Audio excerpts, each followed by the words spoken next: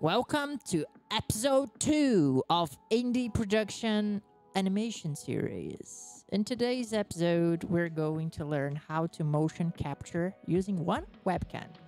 And the best part of everything is that it's free. This is the SOS channel, and here we learn cool things about Computer G.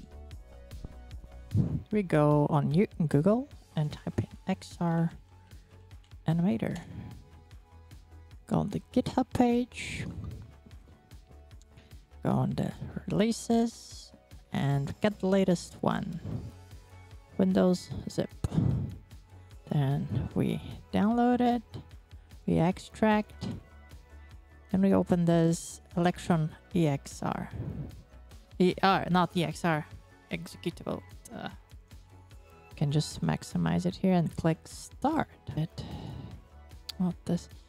Uh, scene background, background image, black. There it is, done. Then I click here to choose webcam and let's see if I can, oh, it's the right webcam now. Good. Then we click motion capture and here you have various options.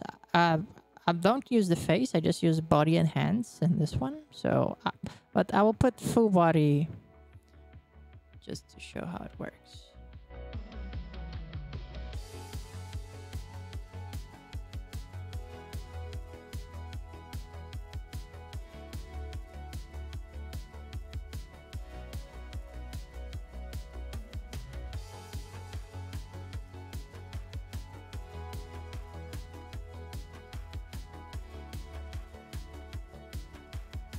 Record animation, we're going to motion capture, record motion, then I just put 1x.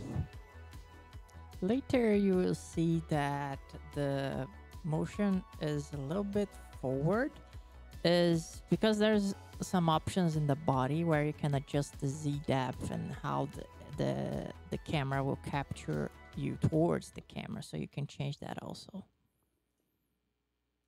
Then we double click motion capture again. Go UI and options. Export motion to file. Select the format. I usually just select BVH. The window will show up here like motion test to dot BVH.